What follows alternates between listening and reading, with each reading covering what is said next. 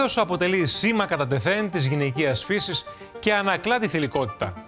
Πολλές γυναίκες επενδύουν συναισθηματικά και όχι άδικα στο σημείο του σώματος που τις κάνει να ξεχωρίζουν, ενώ είναι και ο συνδετικός κρίκος της μάνας με το παιδί από την πρώτη στιγμή της ζωής του.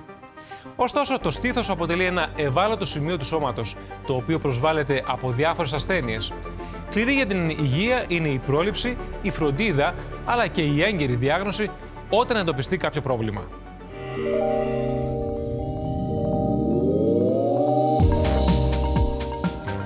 Το στήθος για μια γυναίκα είναι το βασικό όργανο που τις κάνει να ξεχωρίζουν από τους άντρες. Όταν λοιπόν αγγίξουν ένα ογκίδιο στο στήθος ή ε, δουν ένα κοκκίνισμα ή μια άλλη φλεγμονή στην περιοχή αυτή, τότε προβληματίζονται έντονα. Μήπως ένας καρκίνος τους έχει χτυπήσει την πόρτα, μήπως είναι κάτι άλλο το οποίο πρέπει να τις προβληματίσει ιδιαίτερα; Όλα αυτά τα ζητήματα όμως βασίζονται σε μύθους και αλήθειες.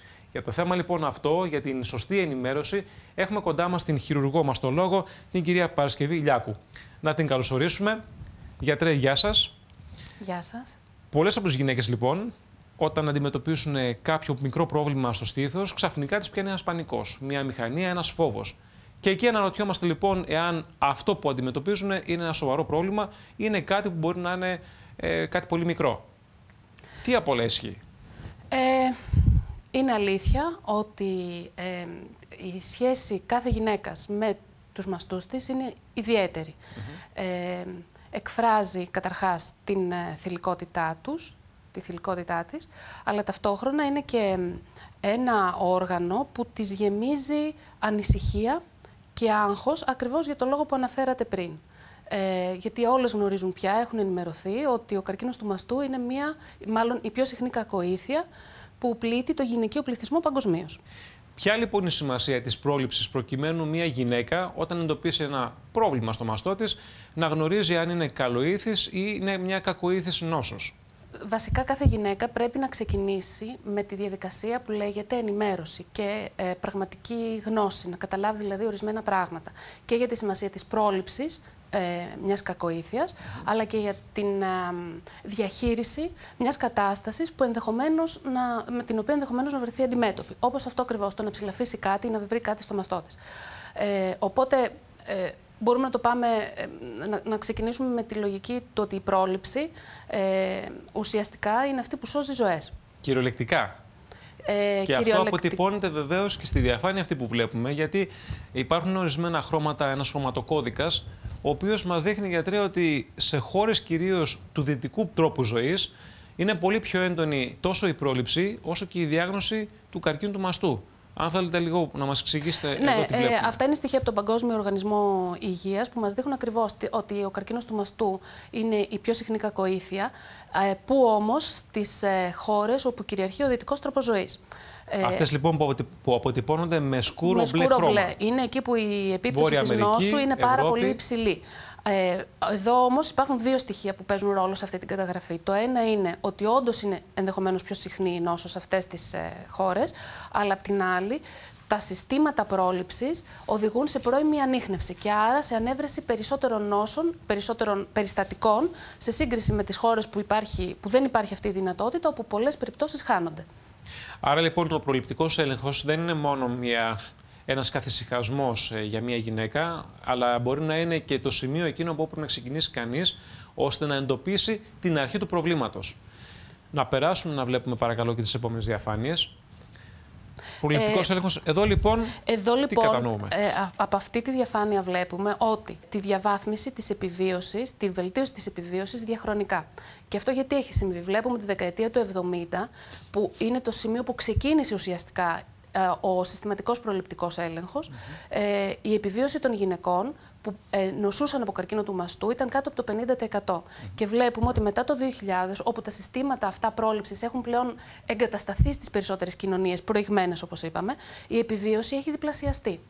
Ε, άρα αποδεικνύεται ότι ο προληπτικός έλεγχος έχει βελτιώσει πραγματικά την επιβίωση των γυναικών. Είναι αυτό που λέμε ότι σώζει ζωές. Αυτή πάντως η κλιμάκωση που υπάρχει στην επιβίωση των γυναικών νομίζω ότι αποτελεί και το πιο χαρακτηριστικό παράδειγμα που πρέπει κανείς να λάβει υπόψη για Εδώ να κατανοήσει την πρόληψη. Ακριβώς. Εδώ βέβαια παίζουν ρόλο και οι σύγχρονες θεραπείες που είναι πολύ σημαντικές, εννοείται και έχουν πολύ μεγάλη αποτελεσματικότητα, αλλά ταυτόχρονα παίζει ρόλο και η πρόληψη που έχει πλέον μπει στη συνείδηση των περισσότερων γυναικών. Ακούμε για παράδειγμα γυναίκες οι οποίες μπορεί να έχουν φτάσει στα 70-75 χρόνια και να μην έχουν κάνει ποτέ μία μαστογραφία για να κατανοήσουν εάν υπάρχει πρόβλημα ή όχι. Μέχρι ότου πλέον δούνε το πρόβλημα Ακριβώς. να τους έχει χτυπήσει ήδη την πόρτα. Ακριβώς. Ε, ουσιαστικά, αδρά μπορούμε να σκεφτούμε ότι όταν μια γυναίκα, εάν υπάρχει κακοήθεια, έχει κάποιο σύμπτωμα, και αυτό ε, μεταφράζεται σε κάποια κακοήθεια που έχει γεννηθεί, τότε η νόσος ε, έχει προχωρήσει σε ένα επόμενο στάδιο. Αυτό λοιπόν που επιδιώκουμε με τον προληπτικό έλεγχο είναι να τη βρούμε σε ένα στάδιο πριν δώσει συμπτώματα. Και γι' αυτό είναι σημαντικό οι γυναίκες να ε, μπαίνουν σε αυτά τα προγράμματα προληπτικού ελέγχου και να μην ε, επαναπαύονται με τη λογική ότι δεν έχω κανένα σύμπτωμα, άρα είμαι υγιής. Αδιάψευτο μάρτυρας βεβαίως είναι αυτά τα νούμερα τα οποία βλέπουμε εδώ για τον προσυμπτωματικό έλεγχο. Και βλέπουμε, ας πούμε, στους ήλιους ελέγχους.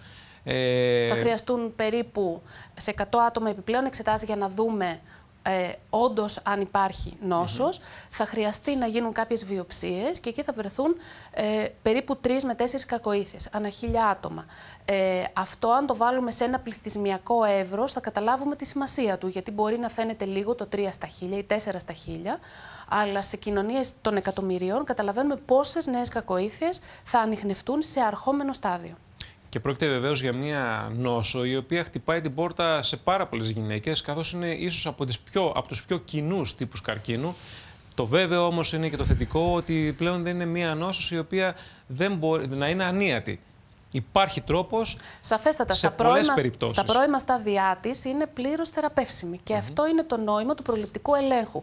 Ε, πότε κάνουμε προληπτικό έλεγχο; Κάνουμε για νόσους που αφορούν βέβαια και άλλα όργανα, όχι μόνο το μαστό. Κάνουμε λοιπόν για νόσους που είναι πολύ συχνές, Άρα θα βοηθήσουμε ένα μεγάλο ε, πληθυσμιακό κομμάτι.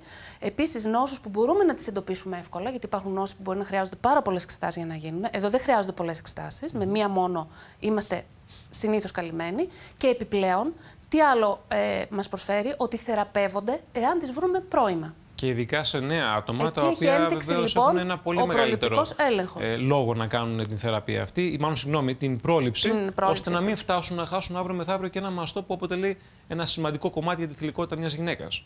Ισχύει. Μάλιστα. Τώρα, θέλω να δούμε ε, ποιοι είναι ουσιαστικά εκείνοι οι τρόποι πρόληψης. Τι πρέπει δηλαδή, με ποιο τρόπο μάλλον μπορεί κάποια γυναίκα να προχωρήσει είτε σε μια αυτοδιάγνωση σε πρώτη φάση και βεβαίως μετά πώς μπορεί να προχωρήσει στην ε, πρόληψη. Ωραία. Ε, βασικά αυτό που μπορούμε να πούμε είναι ότι αποδεδειγμένα ο προληπτικός έλεγχος, το screening όπως αναφέρεται στις, ε, στην, στην διεθνή ορολογία, ναι. ναι. στη διεθνή περισσότερο ε, ουσιαστικά στηρίζεται στην απεικόνηση. Και ποια είναι αυτή; Η γνωστή στις περισσότερες γυναίκες μαστογραφία. Ε, για τη μαστογραφία, λοιπόν, έχουν γίνει περισσότερες μελέτες που έχουν αποδείξει ότι πραγματικά μπορεί να ανοιχνεύσει την νόσο πρώιμα. Και άρα ο βασικός μας προληπτικός έλεγχος είναι απεικονιστικός. Και από εκεί και πέρα.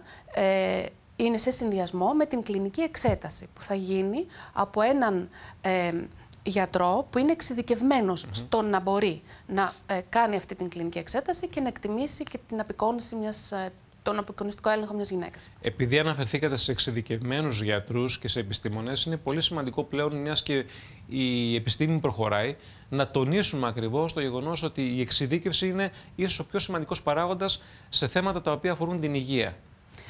Μα, μα, αυτή είναι η σύγχρονη πλέον προσέγγιση. Νομίζω ότι σε όλους τους κλάδους, όχι μόνο στην ιατρική, αλλά ειδικά στην ιατρική και, και στη χειρουργική, ε, η εξειδίκευση είναι το ζητούμενο. Γιατί πλέον ο όγκος της πληροφορίας είναι τόσο μεγάλος και η διαχείριση των καταστάσεων επίσης ε, σύνθετη. Οπότε ε, πρέπει να υπάρχει αφοσίωση θεωρητικά σε κάποια παιδεία. Και αυτό είναι αυτό που κάνουν και οι περισσότεροι γιατροί πλέον. Και αντίστοιχα λοιπόν για τη χειρουργική του μαστού υπάρχει η εξειδίκευση που. Ε, και πιστοποιείται διεθνώς και σε ευρωπαϊκό επίπεδο και σε επίπεδο άλλων ε, χωρών. Είμαστε στο ίδιο επίπεδο σε τεχνογνωσία, αν θέλετε, και εξειδίκευση στην Ελλάδα σε σχέση με το εξωτερικό, γιατί μαθαίνουμε για ασθενείς οι οποίοι έρχονται σε Έλληνες γιατρούς για να βρουν ίαση ή και για διάγνωση ακόμη. Ε, ε πιστεύω ότι είμαστε και ε, ουσιαστικά οι περισσότεροι ε, Έλληνες γιατροί προσπαθούν να, να αποκτήσουν όλες αυτές τις δεξιότητες και τις πιστοποιήσεις ε, με, με, με με πολύ καλές σπουδές πάνω στο θέμα. Αυτό που προσπαθώ να επισημάνω είναι ότι η αντιμετώπιση των παθήσεων ε, του μαστού αποτελεί πλέον ένα εξειδικευμένο κομμάτι της ε, χειρουργικής. Δεν είναι στα πλαίσια της γενικής ε, χειρουργικής. Τώρα, επειδή μιλήσαμε για μαστογραφία, πολλές είναι εκείνες οι γυναίκες οι οποίες είτε δεν γνωρίζουν τι σημαίνει μαστογραφία, είτε την αποφεύγουν γιατί θεωρούν ότι μπορούν να λάβουν μεγάλα ποσοστά ακτινοβολία. Θα συζητήσουμε και για αυτό το θέμα, είτε γιατί είναι μια επώδυνη κατάσταση. Να δούμε λίγο όμως αυτό το βίντεο για να κατανοήσουμε λοιπόν πώς γίνεται η μαστογραφία για μια γυναίκα η οποία πρέπει παρεμπιπτόντως να υποβάλλεται σε μια μαστογραφία από ποια ηλικία; Ε, Καταρχάς, η συχνότητα, η έναρξη και η συχνότητα του προληπτικού ελέγχου είναι αντικείμενο συζήτησης. Υπάρχουν διάφορες οδηγίες που μας ε, κατευθύνουν σε αυτό. Θα τις πούμε σε λίγο. Απλά επειδή βλέπουμε τώρα το βίντεο, ε, θα ήθελα να γίνει αντιληπτό το εξής: Ότι αυτή τη στιγμή στα χέρια μας, της ιατρικής κοινότητας εννοώ, της επιστήμης, υπάρχει η δυνατότητα του μαστογραφικού ελέγχου. Που τι είναι, είναι η χρήση της ακτινοβολίας. Ε, η οποία διαπερνά το μαστό με κατάλληλη τεχνική, όπως τη βλέπουμε να γίνεται εδώ. Ε, και τι μας δίνει, μας δείχνει τις λεπτομέρειες του εσωτερικού αυτού του οργάνου. Όπως φάνηκε πριν ε, λίγο, ε, μπορούμε να δούμε λεπτομέρειες που να μας ε, κατευθύνουν ότι εδώ υπάρχει μια αρχόμενη κακοήθεια. Αυτή λοιπόν η τεχνική ε, έχει κάποιες, αυτή λοιπόν η εξέταση μάλλον, έχει κάποιες λεπτομέρειες στην τεχνική της που ενδεχομένως να ενοχλήσουν λίγο. Αλλά εφόσον η γυναίκα γνωρίζει ότι αυτό είναι η, πώς να το πω, ο δρόμος της προς την υγεία της, νομίζω ότι μπορεί να το ανεχτεί πάρα πολύ καλά. Και γι' αυτό υπάρχουν και πλέον κέντρα που όλοι αυτοί που κάνουν την εξέταση είναι εξειδικευμένοι σε αυτό. Άρα φόβος για την, ε, ε, κατά τη διεξαγωγή της εξέτασης δεν θα πρέπει να υπάρχει. Είναι πολύ μικρής διάρκειας η όλη διαδικασία. Το αποτέλεσμα που μπορείς να έχεις σε σχέση λοιπόν, δηλαδή με τον χρόνο και την. Ε, διαδικασία, ναι, έχει μια ε, σχετική ενόχληση, αλλά νομίζω ότι είναι πολύ διαχειρίσιμη αυτή. Δηλαδή, κάθε γυναίκα θα πρέπει να το σκέφτεται, θα πρέπει να το βγάλει πλήρως από το μυαλό της αυτό ως ε, ε, ανησυχία. Μάλιστα.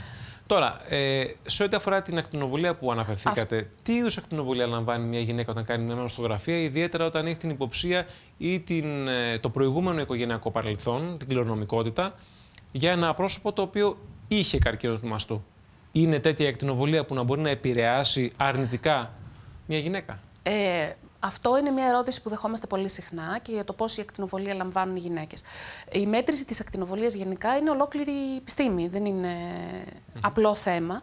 Αυτό που μπορούμε να πούμε και που ε, δεδομένα υποστηρίζουμε από τη δική μας την πλευρά είναι ότι η, δό, η δόση που λαμβάνει μια γυναίκα ε, υποβαλλόμενη σε, μια σε έναν μαστογραφικό έλεγχο ε, είναι πολύ μικρότερη εδώ φαίνονται κάποια νούμερα που το δείχνουν αυτό.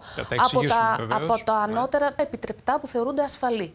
Οπότε ε, είναι μέσα ε, στα επιτρεπτά όρια από διεθνείς οργανισμούς ε, που μετράνε το πόση ακτινοβολία μπορούμε να δεχτούμε. Και αυτό αφορά τη μαστογραφία όπως και άλλες εξετάσεις. Επίσης, οι σύγχρονοι μαστογράφοι μπορούν να δώσουν πολύ λιγότερη ακτινοβολία σε σύγκριση με τα παλαιότερα χρόνια. Άρα, λοιπόν, για να δώσουμε έτσι μια, μια τάξη μεγέθους. Τάξη μεγέθους. Ναι, θεωρείται τι ότι σημαίνει αυτό, λοιπόν, αυτό δείχνει ότι κάθε μαστογραφική λήψη μας δείχνει κάθε μία από τις μαστογραφικές λήψεις που πρέπει να γίνουν έχει ένα ποσό ακτινοβολία. Αθριζόμενο αυτό βγαίνει σε αυτό το 0,4 που βλέπουμε σε κάποιο σημείο. Είναι μονάδες μέτρηση αυτές τη ακτινοβολία.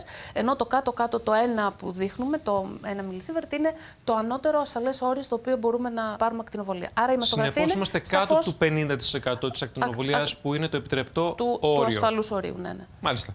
Τώρα, ε, βέβαια, μία μαστογραφία... Και επίσης θα ναι. πρέπει να σκεφτούμε ε, ότι ε, αυτό που ε, έχει συζητηθεί είναι αν η ακτινοβολία αυτή που δέχεται μια γυναίκα μπορεί να προκαλέσει καρκίνο του μαστού.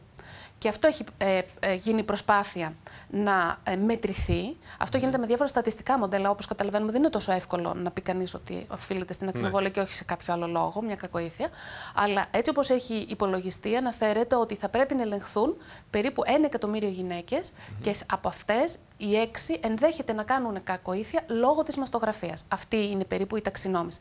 Ταυτόχρονα σκεφτόμαστε ότι σε 1 εκατομμύριο γυναίκες που θα ελεγχθούν θα βρούμε περίπου 3.000 καρκίνους. Άρα το όφελος που έχουμε ελέγχοντας ναι. ένα εκατομμύριο γυναίκες είναι 3.000 καρκίνοι έναντι 6 που μπορεί να προκληθούν λόγω της μαστογραφίας σε αυτό το 1 εκατομμύριο πληθυσμού.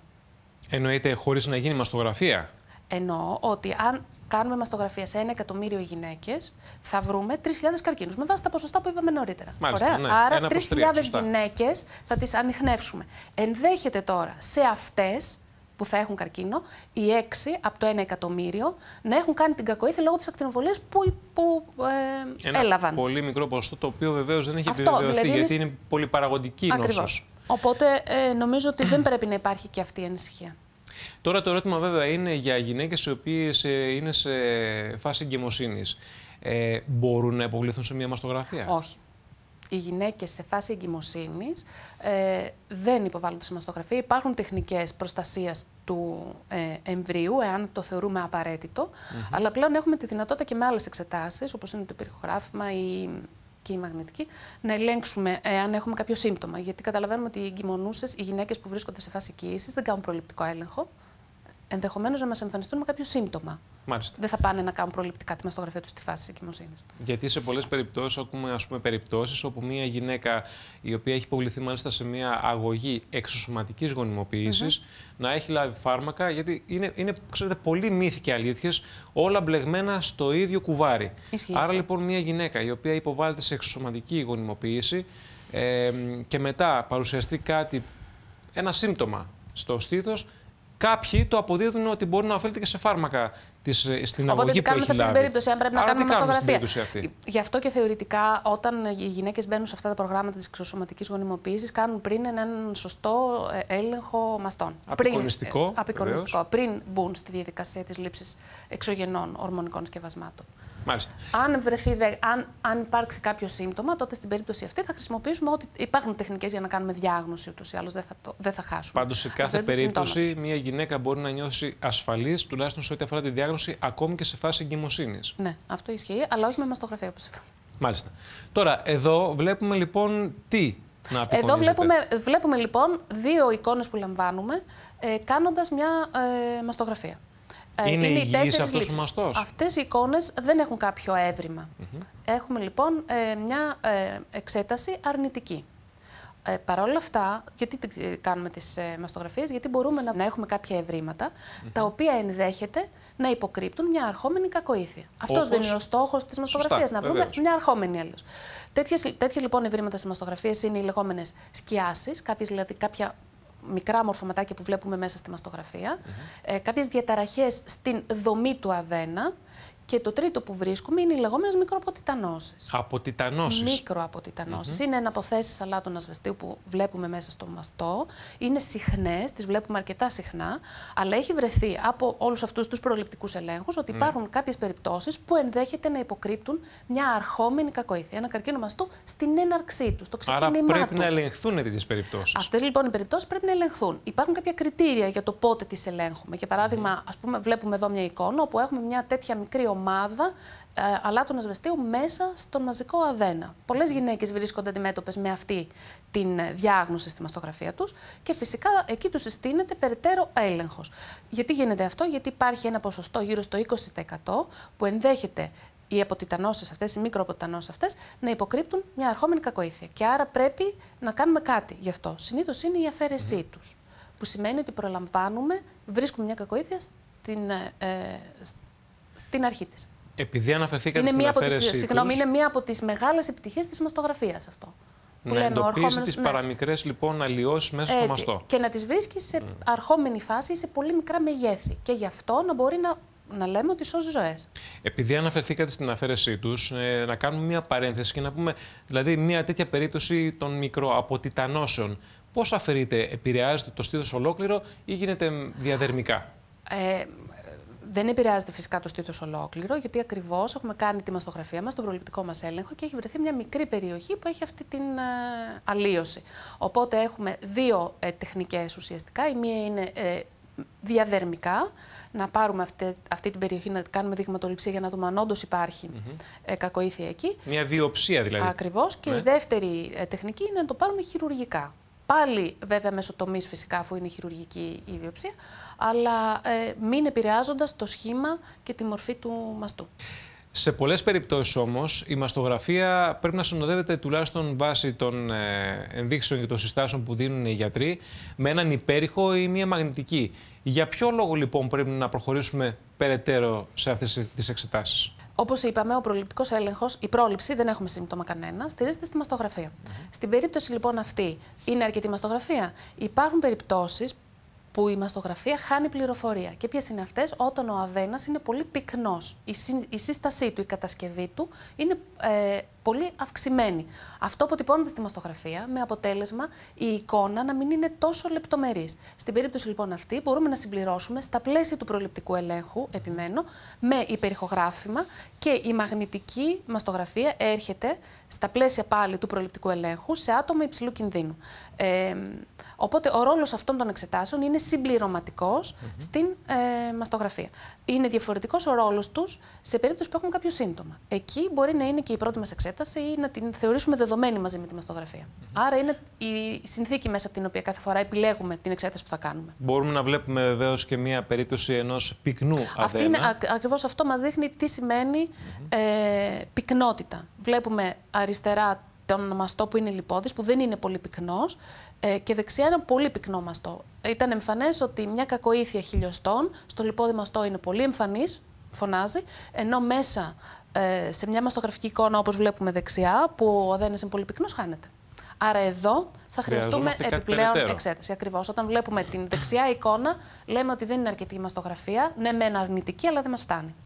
Η μαγνητική απεικόνηση στην περίπτωση του μαστού μπορεί να μας δώσει ακόμη πιο λεπτομερή εικόνα του τι συμβαίνει; Ε, εδώ έχουμε μια εικόνα από υπερηχογράφημα, όπου ακριβώς αυτό βλέπουμε ε, ένα πυκνό αδένα μια φυσιολογική, εδώ δεν έχουμε κάποιο έβριμα, αλλά τη βλέπουμε τον υπέρηχο. Άρα, ο υπέρηχος είναι μια διαφορετική τεχνολογία που έρχεται να μας δώσει μια δεύτερη μορφή του μαστού και η μαγνητική που με ρωτήσατε έρχεται να δώσει μια τρίτη εικόνα, διαφορετική. Συμπληρωματική, λοιπόν, Συμπληρωματική, ακριβώς. Οπότε, σε δύσκολους μαστούς, πυκνούς δηλαδή, ή όταν έχουμε σύνθετα συμπτώματα που μας προβληματίζουν, γιατί δεν είμαστε σίγουροι αν είναι ή όχι κακοήθεια αυτό, ενδέχεται να χρησιμοποιήσουμε και τις τρεις αυτές διαφορετικές απεικονίσεις για να καταλήξουμε σε ένα συμπέρασμα. Δεν έχεις κάτι ή όντως υπάρχει κάποιο πρόβλημα, πρέπει να προχωρήσουμε. Βασικό ερώτημα. Τόσο ο υπέρηχος όσο και η μαγνητική δημιουργούν, πονάνε; Γιατί πολλοί μπορεί να αναρωτηθούν η μαστογραφία ας πούμε, μπορεί να είναι επώδυνη, έστω για λίγα λεπτά. Δευτερόλεπτα. Αυτές οι δύο. Δευτερόλεπτα. Δευτερόλεπτα. Ακόμη καλύτερα. Αυτό λοιπόν ε, σε ό,τι αφορά τη μαγνητική ή το υπεροχογράφημα. Κοιτάξτε να δείτε. Ναι, πόνο, κάθε εξέταση έχει τα θετικά της και τα αρνητικά της. Δηλαδή, ε, η μαστογραφία, όπως είπαμε, αλλά είναι το golden standard. Ε, ο υπέρηχος είναι η πιο απλή εξέταση δεν πονάει, ε, είναι πολύ άνετη θέση της γυναίκας, αλλά δεν μπορεί να λειτουργήσει μόνος του ως, ως μέθοδος ελέγχου προληπτικού. Η δε μαγνητική είναι πολύ πιο σύνθετη εξέταση, πιο χρονοβόρα, πιο κοστοβόρα, ε, αλλά και η πληροφορία που παίρνουμε από αυτή είναι σημαντική. Δεν πονάει όμως, αν αυτό είναι η ερώτηση. Και πέραν από αυτές τις τρεις μεθόδους, οι οποίες θεωρούνται, να το πω έτσι, το Ευαγγέλιο για την ε, πρόληψη και τη διάγνωση στον μαστό, υπάρχουν άλλες τακτικές, άλλες εξετάσεις; Κοιτάξτε, κάθε μία ε, έχουν αναζητηθεί διάφορες τεχνικές που προσπαθούν να, δουν, να βελτιώσουν τη δυνατότητά μας να ανοιχνεύουμε την όσο σε πρώιμο στάδιο. Καμία δεν έχει πάρει, ε, δεν έχει μπει ε, ως εξέταση ρουτίνας. Αυτό όμως που έχουμε καταφέρει, αυτό που έχει γίνει και που το θεωρώ πάρα πολύ μεγάλη εξέλιξη, ε, είναι ότι σε κάθε μία από αυτές τις τεχνικές που έχουμε δει έχει υπάρξει η η, η, βελτίωσή, η βελτίωσή της, ακριβώς. Να αναφέρω χαρακτηριστικά ότι οι, σύγχρονες, οι σύγχρονοι μαστογράφοι και η σύγχρονη μαστογραφική απεικόνηση είναι η λεγόμενη 3D απεικόνηση ή αλλιώς τομοσύνθεση, που ουσιαστικά τι κάνει, παίρνει πάρα πολλές λήψεις στο μαστό και αναλύει αυτή την πυκνότητα. Με αποτέλεσμα να μας δίνει πολλές εικόνες σε πολλά επίπεδα. Και άρα να, χάν, να μην χάνουμε εύκολα πληροφορία. Οπότε είναι σαν να παίρνουμε ένα μαστό τον οποίο έχουμε ταμαχίσει σε πάρα πολλά μικρά σημεία Έτσι. και Οπότε... ελέγχουμε ένα προς ένα Οπότε με τον προηγούμενο... αποτέλεσμα να έχουμε τη συνολική ναι, εικόνα του μαστού. Υπάρχουν κάποιες εικόνες που εκεί mm -hmm. εντοπίσουμε μια πολύ μικρή αλλίωση που στην κλασική μαστογραφική μας εικόνα, όπως αυτή που είδαμε πριν, χάνεται. Δεν τη βλέπουμε. Είναι Ενώ λοιπόν σαν να βάζουμε τον μαστό στο μικροσκόπιο. Ακριβώς. Ε, το απεικονιστικό βέβαια μικροσκόπιο, mm -hmm. μαστογραφικό δεν είναι. Προφανώς. Ε, ναι, το... Απλά το λέμε έτσι για ναι, να ναι, το κατανοεί ισχύει, και ε, ο τηλεθεατής ή η τηλεθεάτρια. Οπότε έτσι με αυτή την εξέταση και δεν χάνουμε εύκολα. Έχει βελτιωθεί πολύ η δυνατότητα ανείχνευσης πρώιμων κακοηθιών και ταυτόχρονα πολλά ευρήματα τα αθώνουμε. Γιατί υπάρχουν και περιπτώσεις τη μαστογραφία. Το άλλο πρόβλημα του μαστογραφικού ελέγχου είναι ότι μπορεί να έχουμε ένα έβριμα, να ανησυχήσουμε και τελικά να μην είναι τίποτα. Ε; False alert. Και αυτό υπάρχει και έχουν υποστεί ε, και αυτή τη συνθήκη κάποιες γυναίκες. Πολλές ανησυχίες σε ζευγάρια, ναι. μάλιστα τα οποία με το που σκέφτονται να αποκτήσουν ένα παιδί, εντοπίζουν παράδειγμα ένα μικρό οζίδιο στο μαστό με αποτέλεσμα να σκέφτονται το χειρότερο. Ναι, Ακριβώς, να υπάρχει ανατροπή όλου του προγραμματισμού κτλ. Τι συμβαίνει ε, σε μια γυναίκα, θέλω λίγο από την πλευρά σας και σαν γυναίκα, αλλά και σαν χειρουργός μαστού, τι συμβαίνει λοιπόν στο μυαλό μιας γυναίκας η οποία μπορεί να βρεθεί αντιμέτωπη με ένα οζίδιο, τι περνάει από το μυαλό της εκείνη τη στιγμή; Ε, και από περιγραφές ασθενών και προφανώς και από προσωπικές ε, εμπειρίες.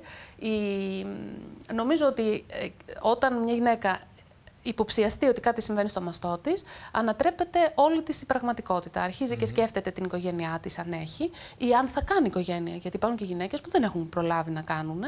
Ε, δεν, ναι, ε, είχαν αυτή την, ε, αυτό το πρόβλημα, αλλά δεν ναι. πρόλαβαν να αποκτήσουν οικογένεια. Ε, και νομίζω ότι ανατρέπεται το σύμπαν όλο και αρχίζει μια, ένας κύκλος πανικού και φόβου, ο οποίος ε, καλό είναι να υπάρξει αντίστοιχη προσέγγιση στον ε, εξειδικευμένο γιατρό που θα τις ε, κατευθύνει. Γιατί αξίζει να πω, δεν το σκέφτηκα νωρίτερα, ότι το 90% των συμπτωμάτων μιας γυναίκας αφορούν καλοήθειες. Γιατί, Αυτό ναι, είναι πολύ σημαντικό. Ναι, δηλαδή ναι, ερχόμαστε να ενημερώσουμε για την κακοήθεια, ακριβώς γιατί ξέρουμε ότι μπορούμε να την θεραπεύσουμε, αλλά θα πρέπει να πούμε ότι το, ένα πολύ μεγάλο ποσοστό των ε, ευρημάτων που μπορεί να έχει μια γυναίκα δεν αφορά σε κακοήθεια. Οπότε ψυχραιμία. Ο καρκίνος καταρχάς του μαστού δεν πρέπει να θεωρείται ένα ταμπού. Προφανώς δεν πρέπει να θεωρείται ταμπού. Νομίζω ότι πλέον έχει την, ε, την υπόσταση της χρόνιας νόσου. Όπως λέμε, διαβήτης, ε, καρδιακή νόσος, ε, παχυσαρκία. Κάπως έτσι πρέπει να βάλουμε στο μυαλό μας και αυτή την νόσο. Είναι συχνή, αλλά την αντιμετωπίζουμε. Γι' αυτό λίγο ψυχραιμία. Αποτελεσματικά και πρέπει να το τονίσουμε αυτό το πράγμα. Άρα λοιπόν. Πάμε τώρα να δούμε το πότε πρέπει να κάνουμε και πόσο συχνά πρέπει να κάνουμε έναν έλεγχο προληπτικό, γιατί ενδεχομένω είναι... υπάρχουν πολύ διαφορετικοί παράγοντες. Ε, υπάρχουν πολύ διαφορετικοί παράγοντες και, και αυτό το, η συχνότητα του πότε θα κάνουμε εξετάσεις, γιατί και το να βάλουμε μια γυναίκα να κάνει εξετάσεις σημαίνει ότι τη βάζουμε σε μια αγωνία. Ε. Δεν είναι απλά τα πράγματα. Αρχίζει και σκέφτεται διάφορα και θα βγει το αποτέλεσμα. Ψυχολογία. Σε μια ψυχολογία κτλ. Οπότε ε, υπάρχουν πάρα πολλές οδηγίες και ευρωπαϊκές και διεθνείς και αμερικάνικες κτλ η ιατρική χειρουργική κοινότητα του μαστού ακολουθεί την οδηγία που λέει ότι μετά τα 40 ξεκινάει ο προληπτικός έλεγχος. Πριν τα 40 δεν συστήνουμε προληπτικό έλεγχο, με μαστογραφία εννοώ και οποιαδήποτε άλλη πιο ε, σύνθετη επικόνηση. Ε, ωστόσο, προσφάτως βγήκε μια αμερικάνικη οδηγία από την αντίστοιχη εταιρεία χειρουργών μαστού, που αναφέρει ότι στα 25 της χρόνια κάθε γυναίκα θα πρέπει να κάνει ένα, μια συμβουλευτική για να δει ακριβώς τους κινδύνους που έχει. Δηλαδή, Τι σημαίνει συμβουλευτική; Συμβουλευτική με έναν ε, γιατρό που να ασχολείται με τις παθήσεις του μαστού. Χωρίς να υποβληθεί σε κάποιο διαγνωστικό Χωρίς έλεγχο; Χωρί να υποβληθεί σε κάποιο διαγνωστικό έλεγχο στα 25 της, να, να ξεκινήσει την πρώτη της ε, επαφή. επαφή με το θέμα. Που σημαίνει τι, να δει τους παράγοντες κινδύνου που έχει. Ένα ιστορικό να, δηλαδή. Ακριβώς, να ανοιχνευτεί τι υπάρχει στο ιστορικό της, ποιος είναι ο τρόπος ζωής της, σε τι παράγοντες εκτίθεται ε, κινδύνου, ώστε να εκτιμηθεί από εκεί και πέρα εάν ανήκει στον μέσο πληθυσμό, σε αυτό το κίνδυνο που έχουμε όλες οι γυναίκες, ή αν ανήκει σε κάποια ομάδα υψηλού κινδύνου. Ποιοι είναι αυτοί οι παράγοντες οι οποίοι θα πρέπει να προβληματίσουν μια γυναίκα όταν πλέον έχει την πρώτη επαφή με τον γιατρό; Αυτό που έχει βρεθεί είναι ότι υπάρχουν διάφοροι παράγοντες κινδύνου. Έτσι, και τους αναφέρουμε συχνά. Ωστόσο, δεν έχουν όλοι την ίδια βαρύτητα. Ε, υπάρχουν, ας πούμε, απλοί ε, παράγοντες, όπως ε, θεωρείται ο τρόπος ζωής, η έκθεση σε εξωγενείς ε, ορμόνες, ε, σκευάσματα όπως τα αντισυλληπτικά παλιότερα είχαν εχοποιηθεί πολύ, τώρα όχι τόσο, έχει μάλλον περάσει αυτή η αντίληψη. Ε, Κληρονομικότητα. Αυτός όμως ο παράγοντας που είναι απόλυτα σημαντικός είναι η κληρονομικότητα ή το ατομικό ιστορικό της κακοήθειας. Ωραία. Οπότε αυτό είναι κάτι που σαφέστατα πρέπει να ελεγχθεί. Ε, ή αν υπάρχει στο ιστορικό μιας γυναίκας μια βιοψία που δείχνει ότι έχει κάποιες αλλοιώσεις στο μαστό της που την προδιαθέτουν στο να αναπτύξει mm. κακοήθεια. Οπότε α, οι πραγματικά ισχυροί παράγοντες κινδύνου είναι το ισχυρό κληρονομικό ιστορικό, οικογενειακό ιστορικό και το ατομικό ιστορικό κακοήθειας. Αυτοί είναι οι πιο σημαντικοί παράγοντες κινδύνου. Μιλήσατε όμως για μια επαφή πρώτη στα 25 μιας mm γυναίκας. Έχουμε όμως ε, πολλά συμπτώματα και πολλές περιπτώσεις όπου φαίνεται ότι ο καρκίνος του μαστού δεν ξεχωρίζει ηλικίες. Και πλέον τα νούμερα μάλλον κινούνται προς τα κάτω αντί να ανεβαίνουν προς τα πάνω. Δηλαδή, νεότερες ηλικίες παρουσιάζουν. Γι' αυτό είπα ότι στα 25, ναι, ότι στα 25 ξεκινάει αυτή η συμβουλευτική. ε, και από εκεί και πέρα, μετά τα 30, μπορεί να ξεκινήσει ένας έλεγχος με κλινική εξέταση από γιατρό που ασχολείται με το αντικείμενο ε, και ίσως και κάποιος υπερηχογραφικός έλεγχος. Αυτό τώρα που λέω δεν είναι επίσημη οδηγία. αυτό που γνωρίζουμε είναι ότι αν η γυναίκα είναι μέσου κινδύνου, θα ξεκινήσει τις επικονίσει της μετά τα 40. Αν είναι όμως υψηλού κινδύνου, δηλαδή έχει ένα βαρύ οικογενειακό ιστορικό. Για παράδειγμα, έχει τη μητέρα της και τη γιαγιά της με καρκίνο του μαστού. Αυτό είναι ένα ισχυρό οικογενειακό ιστορικό. Ή με καρκίνο των οθικών σε δύο ή τρία άτομα πολύ κοντινά της. Αυτό λοιπόν είναι ισχυρό οικογενειακό ιστορικό που την κατατάσσει σε διαφορετική επικινδυνότητα να αναπτύξει και η ίδια κακοήθεια. Στην περίπτωση αυτή ε, θα πρέπει να ξεκινήσει τους ελέγχους της ε, νωρίτερα. Επίσης, εάν υπάρχει κληρονομικότητα επιβεβαιωμένη, εάν υπάρχει δηλαδή μετάλλαξη σε κάποια από αυτά τα γνωστά αγωνίδια. Ε, που έχουν ενοχοποιηθεί για καρκινογέννηση στο μαστό και στις Άρα, λοιπόν, η κληρονομικότητα τι είναι αυτό το οποίο μας δείχνει. Ε, αλλάζει το DNA, σπάει κάποιο κύτταρο το οποίο μετατρέπει όλα τα υπόλοιπα υγιή κύτταρα σε, ε, να το πω έτσι, ε, άρρωστα κύτταρα. Σε... Θεωρητικά, ε, βασικά η καρκινογέννηση ε, στηρίζεται σε βλάβες που γίνονται στο DNA, στο γονιδίωμά μας, στα χρωμοσώματά mm. μας. Ωστόσο, η κληρονομικότητα αυτή που αναφέρουμε είναι ότι ε, κάποιο από τα γονίδια που φέρουμε όταν γεννιόμαστε έχει ήδη βλάβει. Αυτή έχει γίνει σε κάποιο άγνωστο ε, χρονικό διάστημα στο παρελθόν και πλέον έχει εγκατασταθεί και μεταβιβάζεται από άτομο σε άτομο. Ε, από γενιά σε γενιά. Οπότε ήδη έχουμε ένα γονίδιο που έχει βλάβει. Αυτά τα γονίδια λοιπόν έχουν βρεθεί, δύο συγκεκριμένα που έχουν οχοποιηθεί από τη δεκαετία του 90 και έχει πιστοποιηθεί ότι αυξάνουν την ε, πιθανότητα της ε, καρκινογένεσης. Και σιγά σιγά βρισκόμαστε στο σημείο που και, και άλλα γονίδια μπαίνουν στο παιχνίδι. Τώρα βλέπουμε, δηλαδή για παράδειγμα, φαίνεται εδώ στην εικόνα μας ότι ε, τη λειτουργία αυτών των δύο γονίδιων, πώς προστατεύουν το κύτταρο από το να γίνει καρκινικό. Όταν όμως αυτά τα ίδια έχουν βλάβει, το κύτταρο γίνεται καρκινικό και πολλαπλασιάζεται. Ε, Επομένως, πλέον λέμε ότι έχουμε και άλλα είναι γονίδια. Ένα πολύ, πολύ βασικό ε, ζήτημα, ένας πολύ βασικός παράγοντας για να προβούμε σε έναν προληπτικό έλεγχο όποια και είναι, σε νεαρότερη είναι ηλικία. Ακριβώς. Δηλαδή, εκεί όταν υπάρχει τέτοια μετάλλαξη γνωστή στην οικογένεια, ο προληπτικός έλεγχος ξεκινάει νωρίτερα. Τώρα, τα, πιο, τα πιο κοινά συμπτώματα τα οποία θα πρέπει να χτυπήσουν ένα καμπανάκι σε ένα πρόβλημα του μαστού, ποια είναι; Κάθε γυναίκα ε, ουσιαστικά ε, θα πρέπει να γνωρίζει, αυτό δεν το αναφέραμε, ε, γιατί υπήρξε παλιότερα και η οδηγία για την αυτοεξέταση. Ε, κάθε λοιπόν γυναίκα θα πρέπει να γνωρίζει. Αυτοψηλάφιση. Δηλαδή. Αυτοψηλάφιση, ναι. Ε, ε, δεν είναι τόσο. Ε, πώς να το πω. Ε, δεν έχει επιβεβαιωθεί ότι πραγματικά βοηθάει. Αυτό όμως που κάθε γυναίκα πρέπει να γνωρίζει είναι ότι ε, ποια είναι η εικόνα των μαστών της και ποια αίσθηση έχει στην αφή. Οπότε μπορεί να γνωρίζει κάθε φορά πώς είναι η μαστή της και να παρατηρήσει αλλαγές. Αυτές οι αλλαγές λοιπόν που μπορεί να δει μπορούν να αφορούν το δέρμα του ίδιου του μαστού να δει αλλοιώσεις στο σχήμα του μαστού ή να δει αλλοιώσεις από τη θηλή της ή να ψηλαφίσει μια σκληρία. Αυτά λοιπόν είναι συμπτώματα που δεν σημαίνουν κατά ανάγκη ε, κακοήθεια. Μπορεί να οφείλονται και σε κάποια καλοήθη κατάσταση. Ωστόσο, είναι ευρήματα που η ίδια μπορεί να τα παρατηρήσει και άρα να αναζητήσει λύση πάνω στο. να αναζητήσει απάντηση ως προς το τι κρύβουν αυτά τα συμπτώματα. Ναι, γιατί συμβαίνει σε πολλές γυναίκες να ψηλαφίζουν τη μια στιγμή είτε από μία φλεγμονή, είτε από ένα πρόβλημα που μπορεί να αντιμετώπισαν σε κάποια στιγμή της ζωής τους ένα θέμα στο στήθος και από εκεί πέρα να προβληματιστούν, να χτυπήσει το καμπανάκι, να θεωρήσουν ότι μπορεί να πρόκειται για κάποιον καρκίνο του μαστού. Αυτό είναι το ε, σύνηθες, ναι, δηλαδή ε, να προβληματιστούν, να φοβηθούν μάλλον. Ε, αυτό που πρέπει να καταλάβουμε είναι ότι ο μαστός δεν είναι ένα στατικό όργανο. Ε, Διαφοροποιείται, αλλάζει ακόμη και από το βάρος του σώματος που έχει μια γυναίκα. Καταρχάς, ε, αλλάζει με τις διάφορες ηλικιακές φάσεις που περνάει μια γυναίκα. Δηλαδή, δεν γεννιέται η γυναίκα με μαζικό οδένα, γεννιέται με ένα, με μια καταβολή, με ένα αρχικό πολύ μικρό όργανο. Αυτό με την επίδραση των ορμονών σιγά σιγά αλλάζει και πλέον επίσημο μαζικό αδένα έχουμε ε, στην εφηβεία, στο τέλος της εφηβείας. Ακολουθεί μια διαφοροποίηση αυτού του οργάνου, πότε στις φάσεις της κοίησης και του θυλασμού. Εκεί έρχεται στην πλήρη οριμότητά του ο αδένας. Και Από κάποια ηλικία και μετά, όταν εγκατασταθεί η εμεινόπαυση, ατροφή.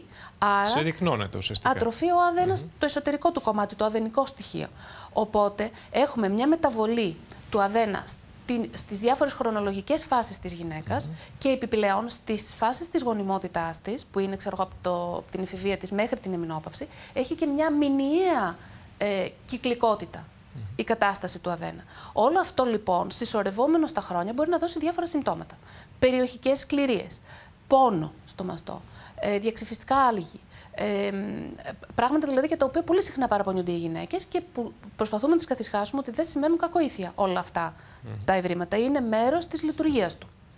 Πάμε παρακαλώ να δούμε λιγάκι μία κάρτα με τα συμπτώματα εκείνα τα οποία πρέπει να ελέγχονται. Εδώ λοιπόν, χωρίς αυτά τα συμπτώματα να τονίσουμε, να επιβεβαιώνουν ότι υπάρχει κάποιο πρόβλημα.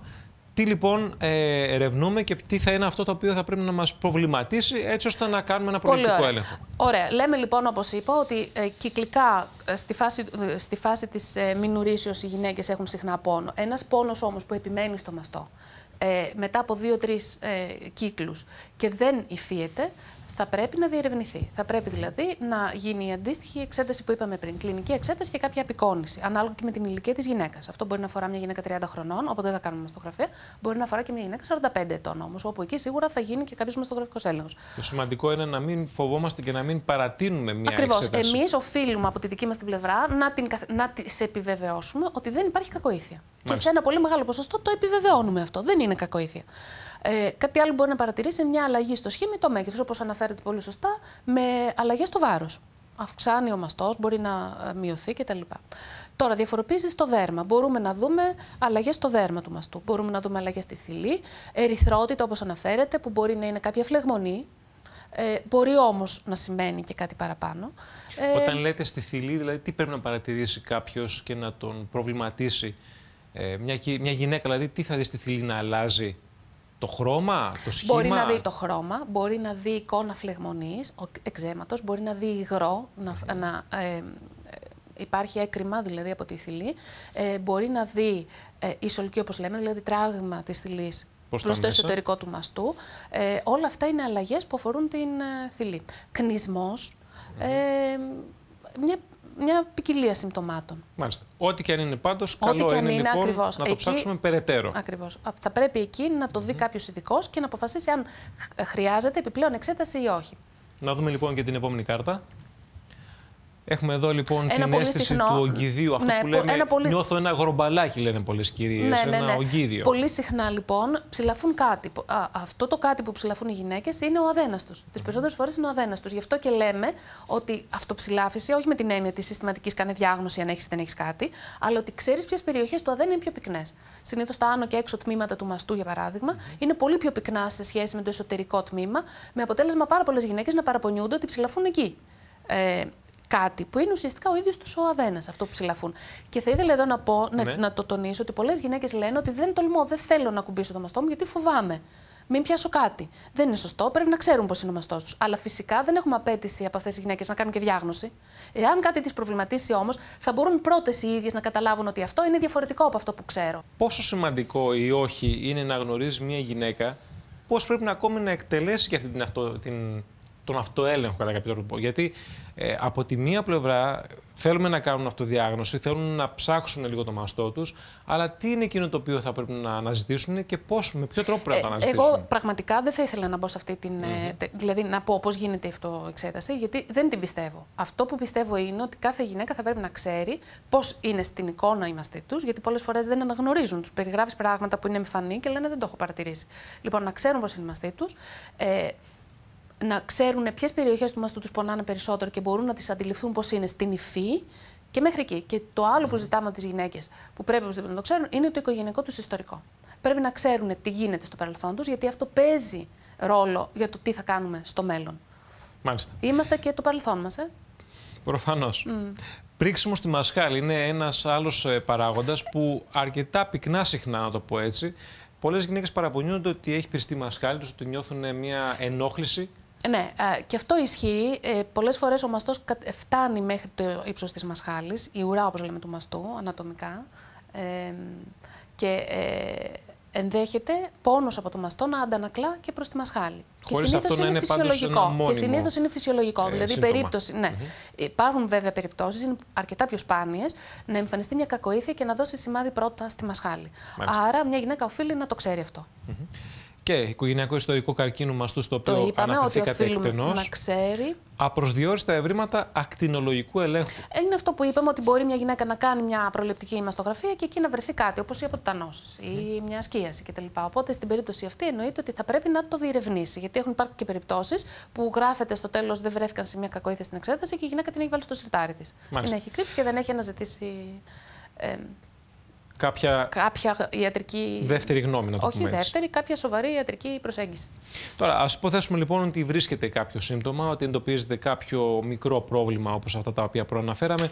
Πώς κανείς τα διαχειρίζεται από εκεί έπειτα; Όπως είπαμε, κλινική εξέταση, και ευρήματα απεικονιστικού ελέγχου. Εάν όλα αυτά είναι αρνητικά, τότε η γυναίκα επιστρέφει στην κανονικότητά της. Υπάρχει ωστόσο η πιθανότητα να βρούμε μία αλλίωση που να μην έχουμε τη βεβαιότητα ή ακόμη και, ή και να έχουμε την έντονη υποψία ότι κρύβει κακοήθεια. Τι πρέπει να κάνουμε, πρέπει να κάνουμε βιοψία. Ε, δηλαδή, να πάρουμε ένα τμήμα από την αλλίωση, να τη δούμε και να επιβεβαιώσουμε. Ένα δείγμα από την αλλίωση ακριβώς και να επιβεβαιώσουμε το καλό ή το κακό του αποτελέσματος, του, του πράγματος. Τι σημαίνει όμως μια βιοψία για μια γυναίκα η οποία πρώτη φορά ακούει ότι υπάρχει ίσως κάποιο έβριμα, ε, είτε από την πλευρά βεβαίως ε, της διαδικασίας, είτε από την πλευρά του αποτελέσματος. Δηλαδή μια γυναίκα της λέει η γιατρός ή ο γιατρός ότι θα πρέπει να κάνει βιοψία. Τι πρέπει να περιμένει; Θα πρέπει εκείνη τη στιγμή να λειτουργήσει η λογική. Και η λογική τι λέει και τα δεδομένα τα δικά μας τι λένε, ότι με τη βιοψία τι πάμε να αποδείξουμε; Πάμε να αποδείξουμε ότι αυτό που φαίνεται μπορεί να είναι καλοήθεια. Δεν θέλουμε να το ξέρουμε με βεβαιότητα ότι αυτό που υπάρχει στη μαστογραφία μας δεν είναι καρκίνος. Θέλουμε να το ξέρουμε. Τι άλλο όμως μπορεί να μας αποδείξει, μπορεί να μας αποδείξει ότι όντως εδώ είναι μια αρχόμενη κακοήθεια. Εάν την έχουμε βρει στη μαστογραφία μας, αυτή η αρχόμενη κακοήθεια είναι πλήρως αντιμετωπίσιμη. Άρα, είτε προς τη μια κατεύθυνση είτε προς την άλλη, τον έλεγχο τον έχουμε εμείς. Η γυναίκα. Και άρα πρέπει να σκέφτεται λογικά ότι αυτό το κάνει για να έχει ακριβώς τον έλεγχο η ίδια στη ζωή της και στην υγεία της και όχι ε, όλοι οι άλλοι παράγοντες. Η βιοψία γίνεται στοχευμένα ή μπορεί να ξεφύγει και να, να δούμε ότι πάμε παραπέρα, να πάρουμε ένα λάθος δείγμα. Ε, αυτό αυτό, προσέξτε, εννοείται ότι γίνεται πάντα στοχευμένα. Και πώς γίνεται η βιοψία, έχουμε, αν έχουμε κάποιο έβριμα στη μαστογραφία μας, θα, κάνουμε μαστογρα... Ε, θα κάνουμε βιοψία με μαστογραφική καθοδήγηση, όπως λέμε. Θα πάμε δηλαδή στοχευμένα με βάση τη μαστογραφία μας. Ενώ αν έχουμε έβριμα στο υπερηχογράφημά μας, θα κάνουμε με βάση τον υπέρηχο βιοψία. Μπορούμε να βλέπουμε παράλληλα και το βίντεο Ακριβώς. Θα κάνουμε με βάση τον υπέρηχο. Αυτές λοιπόν είναι οι κατευθυνόμενες βιοψίες που είναι το leggy artis και ουσιαστικά ο τρόπος με τον οποίο κάνουμε βιοψίες οι χειρουργοί που ασχολούμαστε με, τον, ε, με τη χειρουργική του μαστού. Να εξηγούμε, λέω. Ε, εδώ βλέπουμε μια βελόνα. Εδώ είναι μια απλή, ε, εδώ με υπέρηχο. Πάμε σε αυτή την αλλίωση και μια βελόνα μπαίνει μέσα στην αλλίωση και παίρνει ε, κύτταρα. Εδώ παίρνει κύτταρα. Μπορούμε να χρησιμοποιήσουμε όμως, ε, εδώ γίνεται με βάση την μαστογραφία. Στο στερεοτακτικό, όπως λέμε, τραπέζι. Και εδώ είναι η βελόνα που βάζει την τοπική αναισθησία. Όλα αυτά γίνονται με τοπική αναισθησία. Η γυναίκα είναι ε, δεν χρειάζεται, χειρουργή, δεν χρειάζεται χειρουργείο, δεν χρειάζεται δηλαδή γενική αναισθησία. Πόση ώρα διαρκεί αυτή η εξέταση, ε, Σε ένα εξειδικευμένο τμήμα που κάνει ε, αρκετές βιοψίες, αυτό είναι γύρω στο τέταρτο με 20 λεπτό. Μια σύντομη λοιπόν βιοψία. Μια σύντομη βιοψία με, με τοπική που γίνεται βιοψία και η γυναίκα επιστρέφει mm. στην. Ε, κανονικότητά της. Ακριβώς, στην πραγματικότητά της. Σε περιπτώσεις, όπως λέμε, που με ρωτήσετε αν ξεφύγουμε, σε αυτές τις περιπτώσεις, γιατί και αυτό ενδέχεται να συμβεί, είναι mm. μικρό το ποσοστό, αλλά μπορεί να γίνει, ή σε περιπτώσεις που δεν μπορούμε να προσεγγίσουμε μια αλλίωση, τότε ενδέχεται να πρέπει να κάνουμε χειρουργείο για να κάνουμε βιοψία. Να πάρουμε δηλαδή την αλλίωση και να τη δούμε. Δεν το προτιμούμε, αλλά ενδέχεται να χρειαστεί να γίνει και αυτό. Αν λοιπόν μια βιοψία μας δώσει μια εικόνα ότι όλα είναι καλά, δεν υπάρχει κανένα απολύτως πρόβλημα. Πότε θα πρέπει να επιστρέψουμε στο γιατρό για να εξετάσουμε πάλι την κατάσταση του προηγούμενου ευρήματος; Ωραία. Ε, εάν είμαστε σίγουροι, αυτό που λέμε είναι ότι στις βιοψίες μας πρέπει να έχουμε απόλυτη συσχέτιση της εικόνας μας, ναι. είτε είναι μεστογραφική ή περιχογραφική, με το αποτέλεσμά μας. Δηλαδή να συμφωνούμε. Εάν λοιπόν το επιτύχουμε αυτό ε, και το αποτέλεσμά μας βγάλει μια καλοήθη κατάσταση του μαστού, τότε ε, παρακολουθούμε τη γυναίκα σε εξαμηνιαία συνήθως βάση για ένα διάστημα περίπου της διετίας, αυτό αφορά κυρίως τις στερεοτακτικές βιοψίες, ώστε να έχουμε τη βεβαιότητα ότι όντως δεν υπήρξε κάποια αστοχία. Ε, και, ότι ήταν καλοήθειες λοιπόν το Ότι ήταν όντως καλοήθεια αυτό που βρήκαμε. Ε, όταν είναι καλοήθεια, όταν έχουμε ένα αποτέλεσμα καλοήθειας, όπως για παράδειγμα οι νοικιστικέ αλλαγές. Πολύ συχνά παίρνουμε μια τέτοια τύπου, τέτοιου τύπου διάγνωση ε, και κάποιες άλλες να μην ε, επεκταθώ σε αυτό. Δεν χρειάζεται να κάνουμε κάτι παραπάνω πλην του ελέγχου του εξαμηνιαίου. Τι είναι όμως εκείνο το οποίο θα, θα πρέπει να προβληματίσει και να θεωρήσουμε πλέον ότι είναι ένα σύμπτωμα που θέλει περαιτέρω έλεγχο, πιο συχνό και είναι και ένα αμφιλεγόμενο σύμπτωμα; Μάλλον εννοούμε μια διάγνωση. Ε; Προφανώς. Ναι, ναι, διάγνωση. Οπότε δηλαδή σε μια βιοψία παίρνουμε μια διάγνωση που λέει ατυπία. Η διάγνωση που περισσότερο μας προβληματίζει είναι η λέξη ατυπία. Ατυπία. Ατυπία. ε, είναι μια διάγνωση που την έχουν πάρει αρκετές γυναίκες και ουσιαστικά τι σημαίνει; Ότι έχει ξεκινήσει στο σημείο που πήραμε εμείς την βιοψία μας, το τμήμα δηλαδή που πήραμε εκείνου του μαστού, έχει ξεκινήσει μια προκαρκινική διαδικασία. Τα κύτταρα δηλαδή που πήραμε δεν είναι ε, Απόλυτα υγιή. Φυσιολογικά, αλλά δεν είναι και καρκινικά. Είναι όπως λέμε άτυπα. Έχουν δηλαδή κάποια χαρακτηριστικά στο μικροσκόπιο που λένε ότι σε αυτά κάτι έχει αλλάξει. Και όταν είναι ένα μεταβατικό στάδιο. Ακριβώς. Ε, θεωρείται λοιπόν ότι είναι ένα μεταβατικό στάδιο και αυτό μάλλον ε, ενδεχο... ενδεχομένως να εξελιχθεί σε κακοήθεια. Οπότε στην προκειμένη αυτή περίπτωση αυτή η γυναίκα είναι υψηλού κινδύνου ε, είναι σαν να έχει μια κληρονομικότητα, για παράδειγμα. Είναι τέτοιου επίπεδου ο κίνδυνος τον οποίο έχει μια γυναίκα όταν βρεθεί ατυπία στη διάγνωσή της. Και στην περίπτωση αυτή, ανάλογα με την ατυπία, θα πρέπει να προχωρήσουμε είτε σε μια σε, ε, πιο εκτεταμένη χειρουργική επέμβαση, δηλαδή να καθαρίσουμε καλύτερα την περιοχή, να το πω απλά, από την οποία πήραμε το δείγμα, ή ενδεχομένως και κάποια φαρμακευτική αγωγή ανάλογα με την ε, διάγνωση που πήραμε. Θέλω να ρωτήσω κάτι. Είστε μια χειρουργός μαστού; Κάτι το οποίο αποτελεί μια εξαίρεση σε έναν χώρο ο οποίος θεωρείται κυρίως ανδροκρατούμενος. Ε, θέλω λίγο να μου πείτε τη δική σας την εμπειρία. Γιατί πώς αντιμετωπίζουν οι γυναίκες ασθενείς μια χειρουργό η οποία είναι γυναίκα και δεν είναι ένας άνδρας όπως ήθιστε.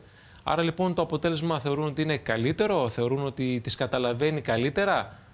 Ποια είναι η εικόνα που υπάρχει; Ε, Γιατί υπάρχουν νομίζω και διεθνείς μελέτες γύρω από το θέμα αυτό. Ε, λοιπόν, καταρχάς, ναι, η χειρουργική, η χειρουργική ως ειδικότητα, οι περισσότερες χειρουργικές ειδικότητες είναι ένας σαφώς ανδροκρατούμενος ε, χώρος, παραδοσιακά. Ε, αυτό όμως τα τελευταία χρόνια αλλάζει και μάλιστα υπάρχουν δεδομένα που βασικά, άμα δούμε τα δεδομένα των γιατρών, πλέον ε, το 50% των φοιτητών στις ιατρικές σχολές είναι γυναίκες. Έχει αλλάξει αυτό σε σχέση με παλιότερες στατιστικέ. Δεν υπολείπονται σε κάτι, ούτε ε, μένουν, Θέλω να πω ότι όπως σταδιακά μπαίνουν σε διάφορα επαγγέλματα οι, γυναίκες έχουν μπει δειλά και με πολύ κόπο και στη χειρουργική, που ήταν κατεξοχήν ανδροκρατούμενη ειδικότητα. Ε, φυσικά, στο, ε, στη συνείδηση του κόσμου, ε, ο χειρουργός είναι άνδρας.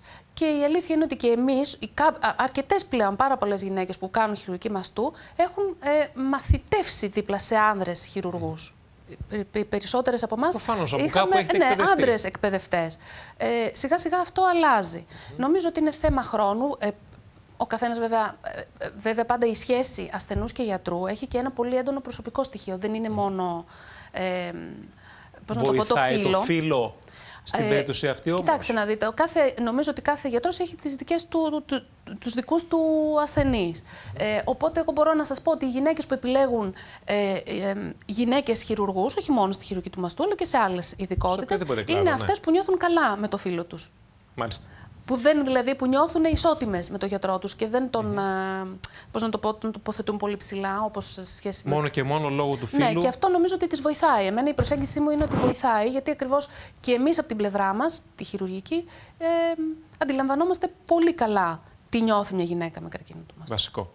Γιατρέ, σας ευχαριστώ που ήσασταν κοντά μας ε, σε αυτή την εκπομπή, καθώς ε, νομίζω ότι μπορέσαμε να καταρρύψουμε αρκετούς μύθους και να καταλάβουμε αλήθειες οι οποίες έχουν να κάνουν κυρίως με την πρόληψη αλλά και τη διάγνωση ενός ε, προβλήματος που είναι ίσα ίσα στην αρχή. Ευχαριστώ πολύ. Και εγώ σας ευχαριστώ πολύ.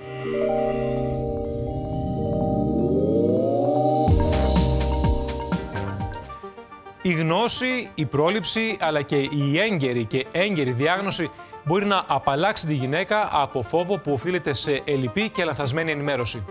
Ένας εξειδικευμένος και έμπειρος γιατρός μπορεί να δώσει συμβουλές με υπευθυνότητα αλλά και λύσεις σε προβλήματα που στη σημερινή εποχή και με την σύγχρονη τεχνολογία μπορούν να αντιμετωπιστούν. Ευχαριστούμε πολύ που μείνατε κοντά μας.